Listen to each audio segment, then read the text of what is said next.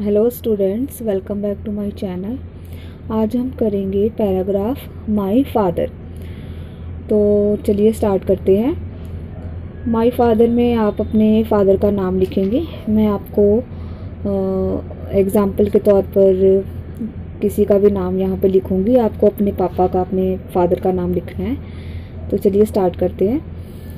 Shri Rajkumar is my father He is a teacher. He teaches in DAV High School, Ludhiana. He is an MA BEd. He teaches English and Mathematics.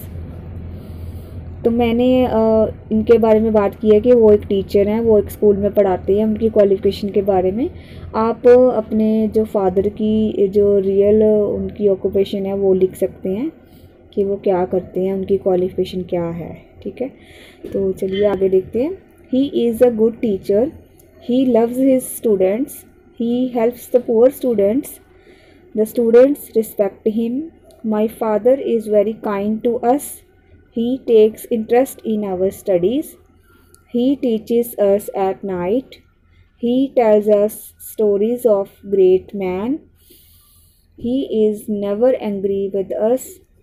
he loves us and we respect him. We love his company. He is a good father.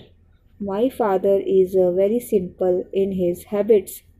He does not he does not smoke. He helps the poor and needy people. He is an ideal citizen. I love my father very much.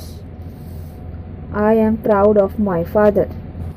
तो ये था हमारा paragraph my father so in our last video uh, we have done the paragraph of uh, my best friend. You can go and check there.